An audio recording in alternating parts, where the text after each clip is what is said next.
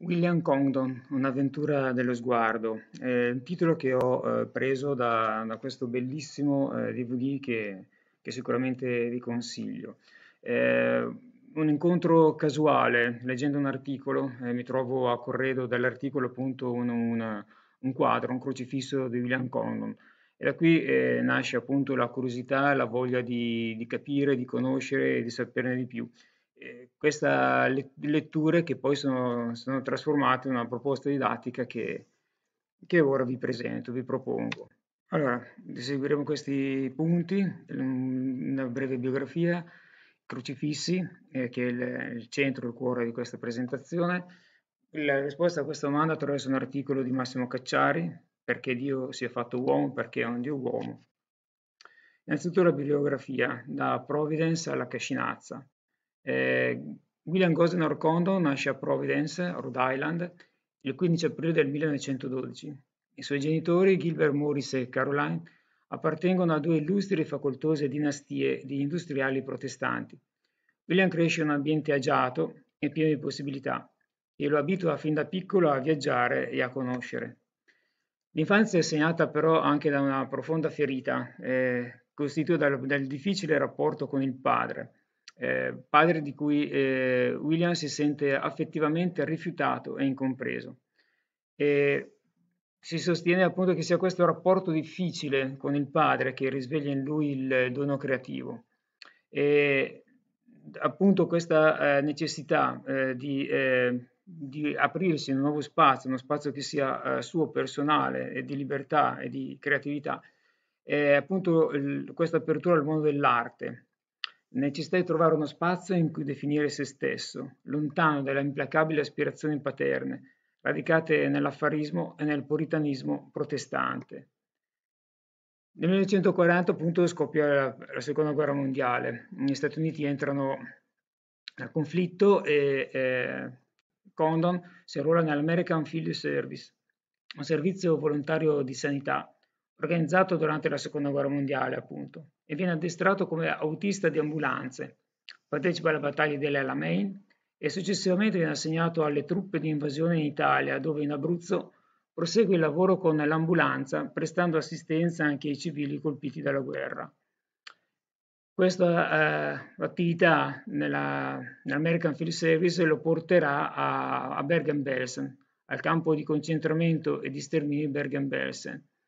Eh, Arrivò tra i primi di maggio, trovandosi di fronte alla visione apocalittica di 13.000 cadaveri ancora insepolti, di altri 10.000 collocati in una gigantesca fossa comune e di altre migliaia di moribondi. È stata un'esperienza questa che lo ha segnato eh, profondamente, come possiamo ben immaginare.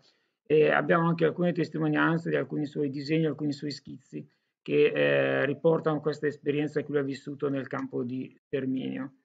Davanti alle cataste di cadaveri e poi nei volti dei civili sofferenti nei viaggi che lui ha fatto, per esempio in India, Condon scopre che la pittura intesa come donazione di sé è la sua vocazione per la vita. Finita eh, la guerra, torna a New York e va a vivere in una stanza da 15 dollari in Stanton Street nel Bowery, un quartiere di tuguri, incadenti, inabitato a miseria, morte, sofferenza. E, e qui rivive un po' l'esperienza del male da redimere che aveva già visto a Bergen-Belsen. Però qui non rimane tantissimo, abbandona questo quartiere e si trasferisce a Park Avenue in cerca di altre immagini e altri stimoli. E, elemento importante della sua vita, un passaggio fondamentale importante, appunto il movimento dell'action painting. Eh, inizia a, a frequentare anche eh, personaggi come Peggy Guggenheim, Betty Parsons, e gallerista e tutti gli artisti della nuova generazione, eh, tra cui personaggi che facciano parte di questo movimento, vediamo anche in questa fotografia eh, eh, Rochko, Motherwell, Burnett e Newman. Condon prosegue il suo viaggio da solo. Già intorno al 1950, mentre si allentano i contatti con l'ambiente artistico americano, mette a punto un personale linguaggio figurativo, accompagnato da una tecnica personale ormai immatura. e nel 1951 eh, il suo peregrinare lo conduce nella città di Assisi. E qui nella città di San Francesco incontra una persona che sarà molto importante per il suo percorso, Don Giovanni Rossi, fondatore della Procivitate Cristiana, un'associazione attorno alla quale gravitano molti artisti di varia provenienza.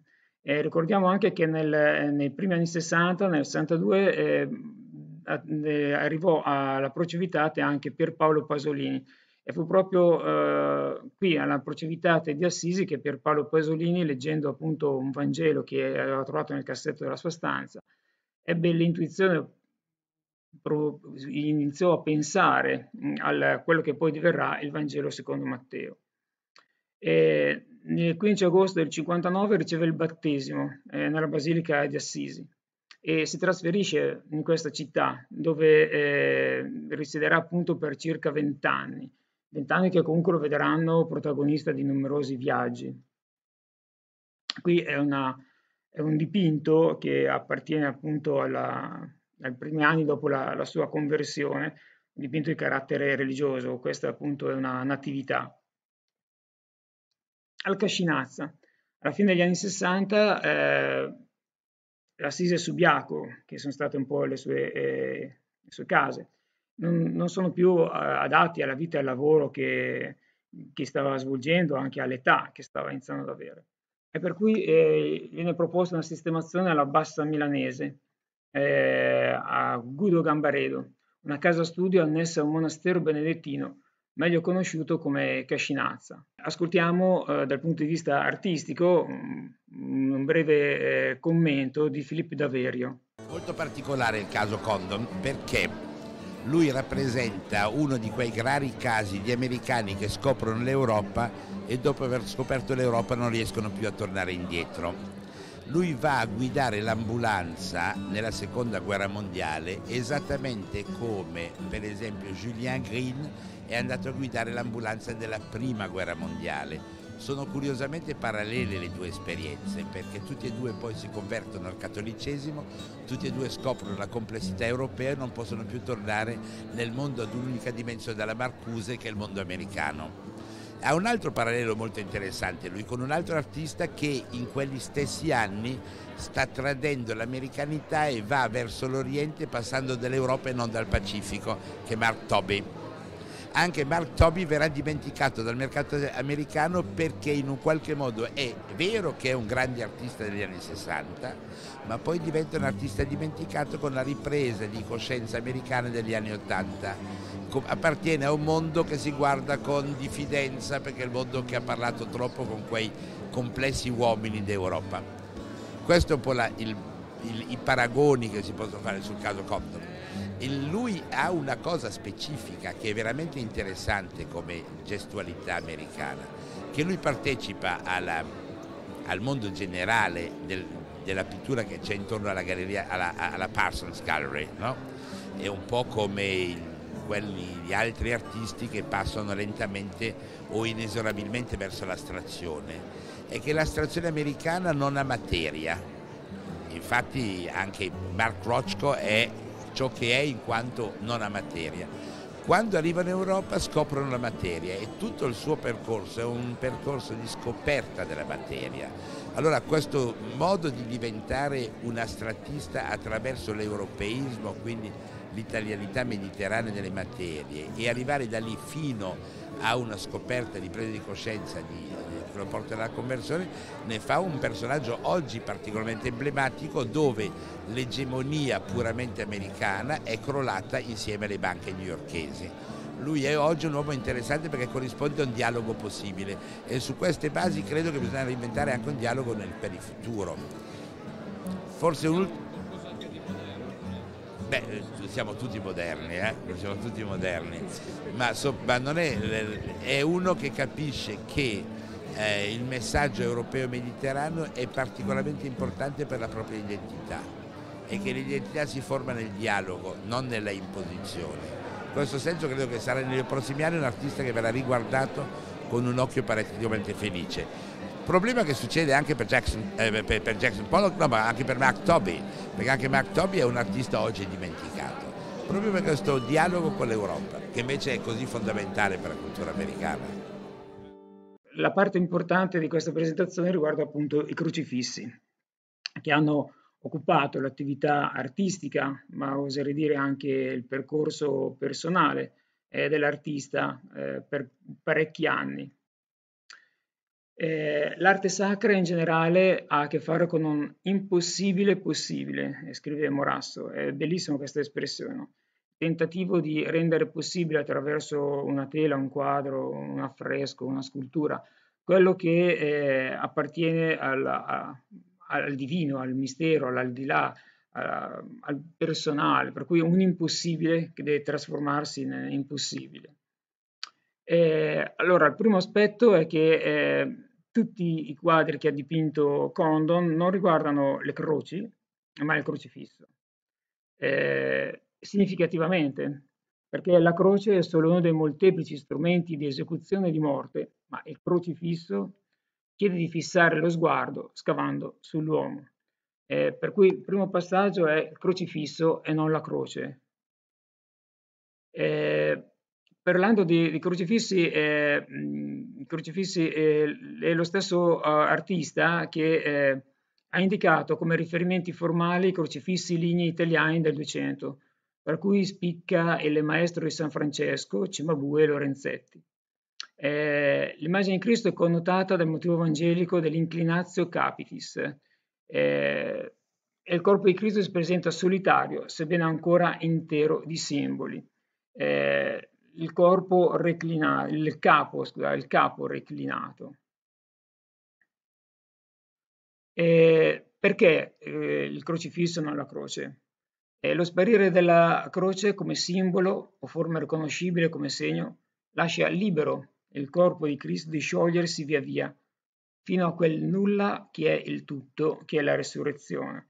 Dunque ci si concentra sul corpo di Cristo, sul suo dolore, sulla sua sofferenza, sul suo contattare con l'esperienza terribile, atroce, eh, ultima eh, che accomuna tutti gli uomini, che è la morte. E in questo tutto, in questa morte, appunto, cogliere quella, eh, quello slancio di novità che rappresenta il cristianesimo, cioè la resurrezione.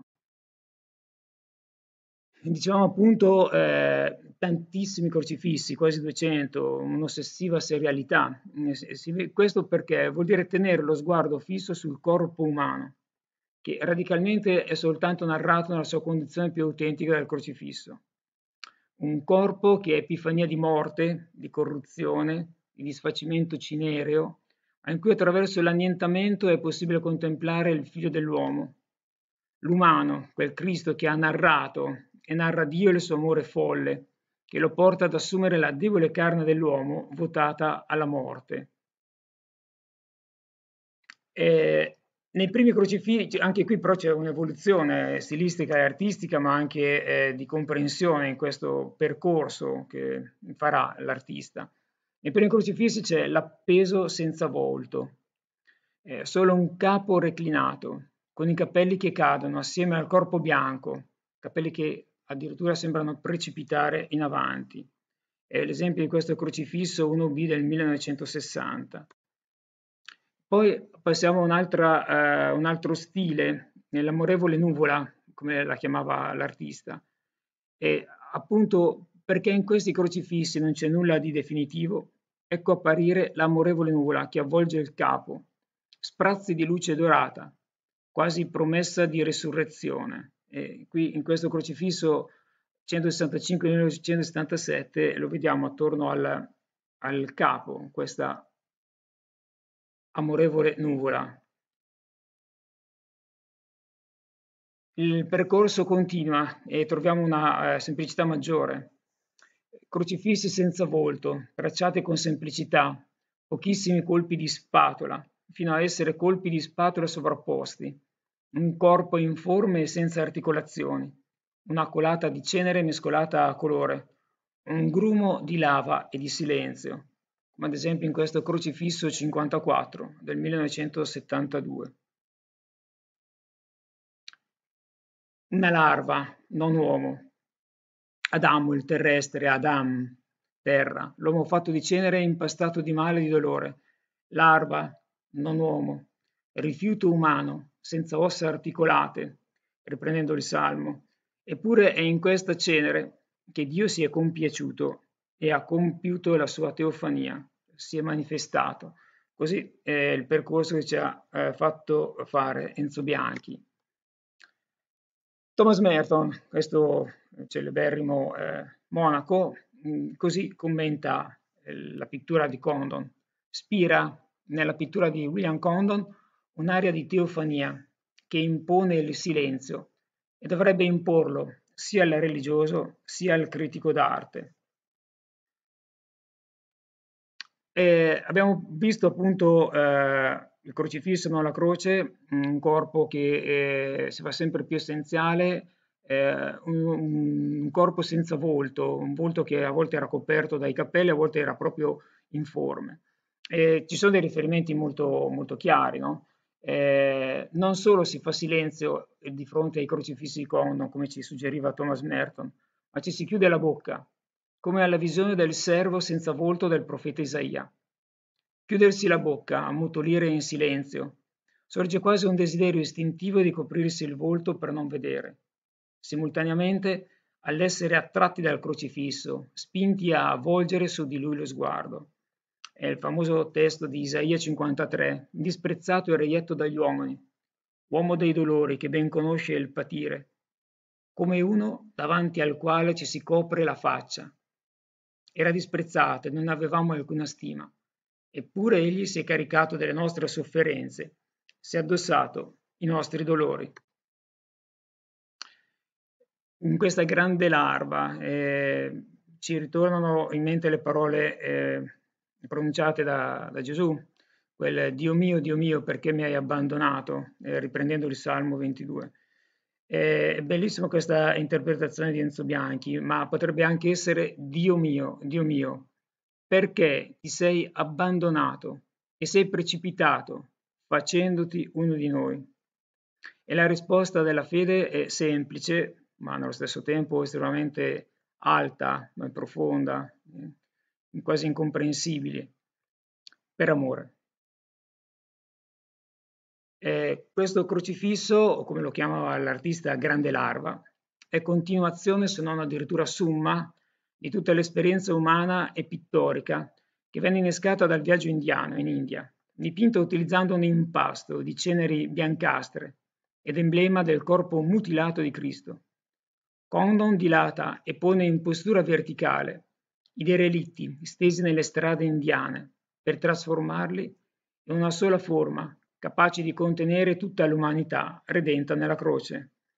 Eh, il crocifisso come colui che fa, eh, carica su di sé eh, tutte le sofferenze del mondo, le sofferenze degli ultimi della terra, quelli che lui incontrava nei suoi viaggi. Eh, c'è Massimo Cacciari che ci parla appunto di uh, anastasis, cioè la risurrezione, questo alzarsi. Osservando la stessa struttura compositiva dei crocifissi Condon, è questo il dramma che sorprende e sconvolge. Tutto vi sembra precipitare. La tessitura cromatica è lacerata catas- catastroficamente. Eppure proprio questo parla di anastasis, proprio lo sprofondare nel buco di questo dolore diventato corpo parla di resurrezione. È lo stesso Condon che ci conferma in queste letture, in queste interpretazioni. Lo sparire della croce come simbolo o forma riconoscibile, come segno, lascia libero il corpo di Cristo di sciogliersi via via, fino a quel nulla che è il tutto, che è la risurrezione. E qui ho messo in, uh, in uno sguardo sinottico, cioè contemporaneo, il percorso eh, stilistico uh, dell'artista, dal crocifisso 1B del 1960, il senza volto, al crocifisso 14 del 1964. E Condon commenta così, l'amorevole nuvola coinvolge testa e braccia di Cristo. Il corpo svanisce nella nera nebbia del dolore e le gambe non sono inchiodate, ma diventano gli stessi chiodi. Crocifisso 54 del 1972. Pochissimi colpi di spatola, fino a essere colpi di spatola sovrapposti. E l'ultimo a destra il crocifisso 64 del 1973. sono scomparse le articolazioni delle braccia e delle gambe. Crocifisso 165, ritorna il concetto che abbiamo visto prima di amorevole nuvola. Nel crocifisso 90, 1974, questa piatta, schiacciata colata di lava secca. Il corpo di Cristo è un ovale, allungato nell'obliquo, a un solo passo dall'informe, informe che gioca a nascondino fra emersione e dissoluzione. Il crocifisso 105, sempre del 74, una lunga barra, un deciso tratto verticale del corpo osso circonfusa da, debole, da un debole lucore. Non so se riuscite a notarlo, eccolo qua, con un debole lucore che lo circonda. Il crocifisso 111 del 1974, anche qui riprende il tema della lunga barra, un deciso tratto verticale del corpo osso circonfusa da un debole lucore. E leggiamo eh, quello che l'artista stesso ha scritto nel, nel suo tocchino, nei suoi appunti che appunto scriveva e annotava durante il suo percorso.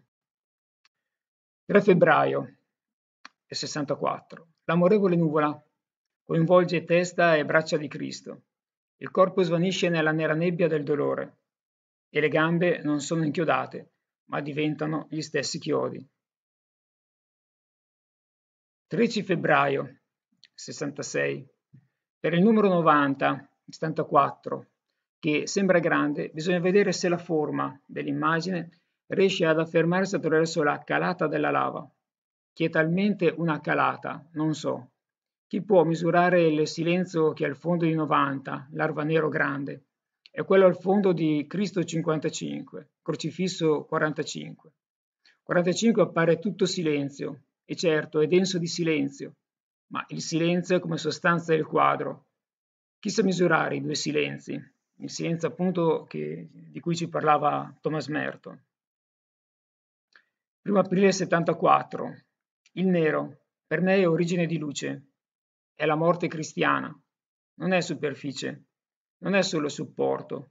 Io vivo il nero, perciò è sempre carico di luce con l'idea appunto che parlava anche prima Massimo Cacciari dell'anastasis, del, del, di questo sprofondare in questo nero, in questo buco, in questo dolore che però riporta a una esperienza nuova. E viene da pensare a quello che diceva Giovanni della Croce. Più salivo in alto, più il mio sguardo si offuscava e la più aspra conquista fu un'opera di buio. E qui abbiamo pronto un disegno dello stesso Giovanni della Croce. Eh, un'altra lettura eh, su questo nero di cui ci parlava Condon c'è il Famorasso, il quale dice che un corpo ridotto allo scheletro ha una dolente geometria circonfusa di buio, più nera del nero, dicono gli alchimisti. L'annigredo significa putrefazione, decomposizione. Il corpo si riduce alla materia prima dalla quale originò. È interessante questo riferimento con, con l'alchimia e l'anigredo appunto degli alchimisti. Eh, la putrefazione è così efficace che distrugge la vecchia natura e la vecchia forma dei corpi in decomposizione e trasmuta in un nuovo stato dell'essere per dar loro un frutto completamente nuovo. Tutto ciò che vive muore, tutto ciò che è morto si putrefa e trova nuova vita. Colui che conosce il mistero del crocifisso è iniziato a tutti i misteri e al mistero della vita. È Massimo il confessore. E arriviamo alla domanda. Perché Dio si è fatto uomo? Perché un Dio uomo? Come diceva appunto la frase che avevano letto prima di Enzo Bianchi, Dio mio, Dio mio, perché ti sei abbandonato e sei precipitato facendoti uno di noi? Eh, cur Deus homo, questa è l'interrogazione incessante di Condon. È forse l'interrogazione dell'arte figurativa, dell'Europa o cristianità, che ha per questo nel crocifisso il suo topos, la sua argomentazione più estremo. Perché Dio assume questo volto disfatto? Perché patisce questa morte maledetta?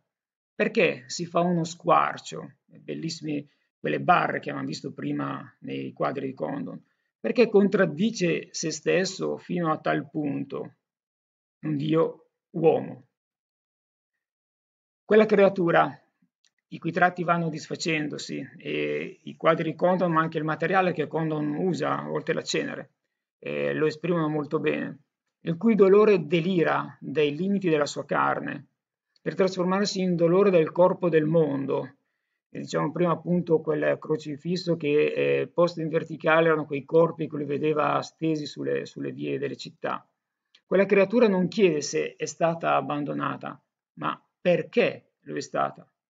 Cioè, perché un abisso si spalanca tra quel corpo appeso e la gloria, la grandezza, la maestas domini. Condon ha visto un buco nel suo crocifisso, un abisso, appunto. Ormai non si dà più figura, non si intuisce più distinzione. Il crocifisso non sembra indicare altro che l'abisso che divide. Non è follia volersi incarnare, dice Massimo Cacciari. E allora vediamo nel eh, Nuovo Testamento questi concetti che sembrerebbero un po' arditi, eppure ci sono. Questa è la lettera ai Filippesi, un testo celeberrimo, oserei dire. Abbiate in voi gli stessi sentimenti che furono in Cristo Gesù, il quale, pur essendo di natura divina, non considerò un tesoro geloso la sua uguaglianza con Dio, ma spogliò se stesso, assumendo la condizione di servo e divenendo simile agli uomini apparso in forma umana, umiliò se stesso, facendosi obbediente fino alla morte e alla morte di croce. Per questo Dio l'ha esaltato e gli ha dato il nome che è al di sopra di ogni altro nome. Di fronte a questo mistero si ergono appunto i crocifissi non solo di Condon, ma appunto Massimo Cacciari ci ricorda che è un percorso che attraversa tutta l'arte eh, cristiana, tutta l'arte eh, europea che appunto si confronta con, eh, con, il mistero cristiano. Per esempio, e li accenno soltanto perché non è certo il tema, eh, Grünewald, guarda, è interessante notare questo sfondo, il nero, il nero e mi colpiscono sempre quelle, quelle mani che com, come degli artigli, no? che, che, sembrano aggrapparsi a, a questo cielo che, che, lo, che lo sta inghiottendo. Eh, questo invece è Diego Velázquez, eh, Cristo crocifisso, eh, 1632. È interessante, avevamo parlato prima di questa, di questa eh, luce che circonda il, il, il crocifisso, e questo, questo eh, chiarore, eh, questa luminosità che emergono. E molti critici dell'arte vogliono vedere appunto nel, nel, nella, croci, nella, crocifisso, dunque nel, nel, colui che sta morendo, è già comunque presente, accennata eh, la risurrezione, la luce appunto. E anche qui è interessante notare un altro elemento che congiunge queste due opere, il capo reclinato, di cui abbiamo parlato all'inizio, e i capelli che eh, coprono questo, questo volto. Eh, tra tutte quelle immagini, la più affine a quelli Condon, eh, dice Cacciari, e pare il crocifisso disegnato da eh, San Juan de la Cruz, uno scheletrico squarcio, colto dall'alto, dal culmine dell'abbandono, poiché questa è l'icona, l'immagine di Cristo che Condon patisce, quella del radicale abbandono. Di più, egli non dipinge un'immagine, ma il grido dell'abbandono. E allora ho fatto questo confronto. Il, a sinistra appunto il disegno di Giovanni della Croce, eh, che eh, appunto realizzò nel suo soggiorno ad Avila per il 72-77. E un altro quadro, eh, Salvador Dalì, eh, che appunto ha ripreso quel disegno e l'ha reinterpretato eh, con il suo stile. è bellissimo anche questo, questo confronto, secondo me. Beh, questo eh, perché Dio si è fatto uomo, questo abbandono, questo corpo che esprime il dolore e la morte, mm, non poteva mancare Hans Holbein il giovane, il corpo di Cristo morto nella tomba del 1521. E qui mi permetto eh, di, di, citare Fyodor Dostoevsky. Eh, tra l'altro è stata un'esperienza sua personale, la moglie nei suoi appunti lo, lo scrive che quando erano andati a Basilea l'avevano visitato, aveva quasi paura che eh, l'emozione, la, la, grande, la forte emozione che Dostoevsky aveva provato di fronte alla vista del quadro lo potesse portare addirittura a una crisi epilettica. Esperienza talmente forte che lui ha travasato in una sua opera molto bella, molto importante, che è appunto L'idiota. Eh, appunto, e dice quel quadro, esclamò ad un tratto il principe preso da un pensiero improvviso quel quadro, ma quel quadro potrebbe anche far perdere la fede a qualcuno. L'esperienza appunto del, con, del contattare quel, quel, buco di cui si parlava prima, il buco della storia, quel nero, no? la morte, il dolore. E, e qui c'è il contrasto no? il, il, che vorremmo sottolineare. E prendiamo la prima lettera ai Corinti. Cosa vuol dire questo Cristo crocifisso? Eh, il crocifisso come qualcosa che eh, diventa eh, difficilmente comprensibile, che è uno scandalo. Noi forse siamo troppo abituati a vedere i crocifissi e per noi diventano quasi una, un, un, amuleto, per qualcuno forse anche questo. Ma eh, in realtà nel testo eh, di Paolo eh, viene sottolineato qualcos'altro. Gli ebrei infatti vorrebbero miracoli e i non ebrei si fidano solo della ragione. Noi invece annunziamo Cristo crocifisso. E per gli ebrei questo messaggio è offensivo, mentre per gli altri è assurdo. È assurdo. Come fa Cristo, Dio, a essere crocifisso, a soffrire? A soffrire addirittura una, una morte, una tortura, una condanna a morte. Ma per quelli che Dio ha chiamato, siano essi ebrei o no, Cristo è potenza e sapienza di Dio, perché è la pazzia di Dio. È interessante eh, questo termine, è la pazzia di Dio, è più sapiente della sapienza degli uomini, la debolezza di Dio è più forte della forza degli uomini. E penso che in questo testo trova conferma appunto tutte le riflessioni che abbiamo fatto finora. Pazzia, crocifisso è pazzia, crocifisso è debolezza di Dio. Eh, era talmente eh, sconcertante l'idea di un Cristo crocifisso che eh, nei primi secoli la Chiesa ha dovuto ricordare ed affermare con autorevolezza che le sofferenze di Cristo non furono simboliche ma reali, come reale fu la morte. È uno scandalo appunto questa morte, è uno scandalo la sofferenza, come fai ad accettarla? Eh, Cirillo di Gerusalemme infatti scrive, dobbiamo dunque impararlo tutto quello che Cristo ha sofferto l'ha sostenuto per noi e per la nostra salvezza in verità e non in apparenza. Veramente, infatti a Cristo toccò una morte reale, fisica. La sua anima fu separata dal corpo e fu vera la sepoltura. Faccio un accenno velocissimo, eh, per esempio nell'Islam.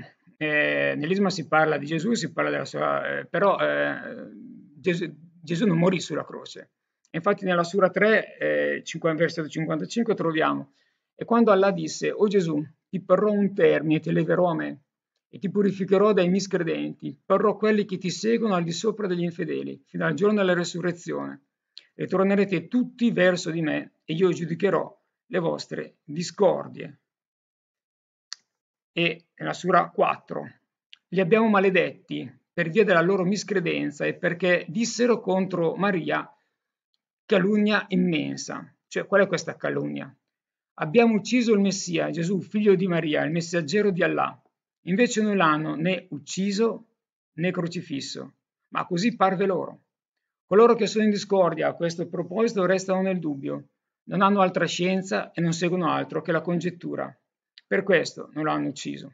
Dunque, eh, lo scandalo del crocifisso, eh, il mettersi di fronte a, a questo dolore, a questa sofferenza, a questa morte, non è facile.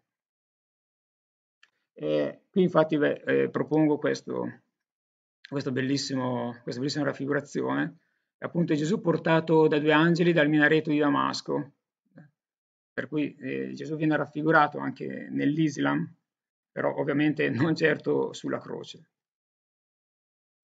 E termino con eh, questa poesia di Davide Maria Turoldo, eh, che secondo me è un bellissimo commento a correre di tutto quello che abbiamo detto finora. No, credere a Pasqua non è giusta fede. Troppo bello sei a Pasqua. Fede vera è al venerdì santo, quando tu non c'eri, lassù.